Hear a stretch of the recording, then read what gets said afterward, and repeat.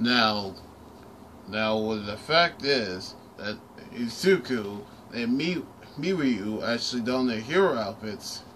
Mirio's hero name is Lemillion. La, Lemillion?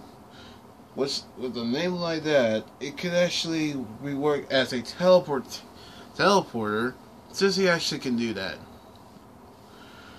But back in the, but that, that was a flashback. But back to the present, but back in the scene, Izuku meet up with the guy with the crow mask, who go by by the name Shi Shi Shisa, Chisaki, who meet up with I, Eri until Mirio put Izuku's mask on him. I mean, put help Izuku with his mask because he don't want heroes to expose themselves. Turns out that this when Izuku actually met this girl, she she knew that she was injured. I mean, her arms and legs was bandaged up. Bandaged up. I mean, something happened to this girl as they were actually walked to the alley.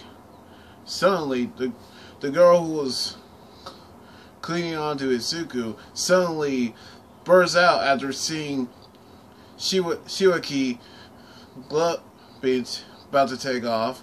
She was actually running until she actually until she actually stopped in next to him. Now, now something did happen to her, but eh, because of the next scene, we actually seen a table, I mean a chair, as she uh, about to take off her bandages. A call from the League of Villains responded a demand, which we're about to see what's going to happen next. We might find out what, what he did to this girl. So anyway, like this video, subscribe for more, and comment what you think about the chapter. You guys can also follow me on Twitter and Instagram. Till then, this is Anime Guy here saying signing out. Laters!